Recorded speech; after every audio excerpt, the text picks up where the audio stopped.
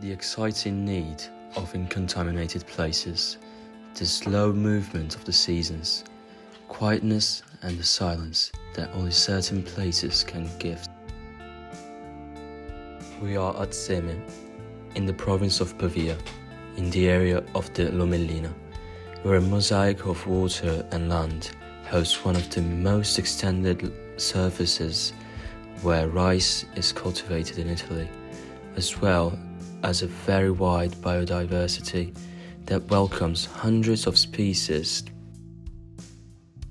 I present to you a big and wide house that gives you comfort and relax where you can find yourself and you can refine that human dimension that the city has slowly been taken from us.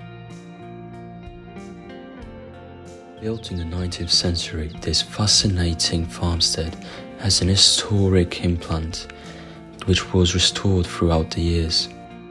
The household is a great example of a functional construction with well-defined space, well organized and well distributed on a 800 square meters intern surface.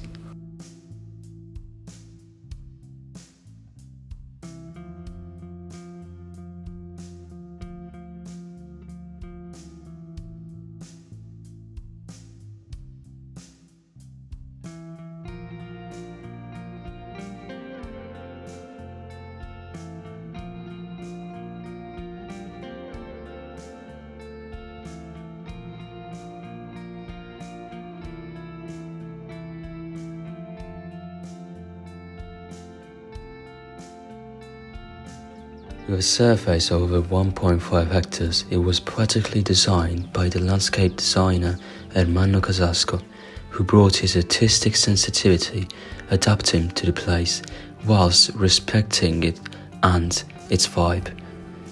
The result is a garden who is perfectly in sync with the surrounding landscape. If you wish to see the majesty of this household, then look no further than contacting us.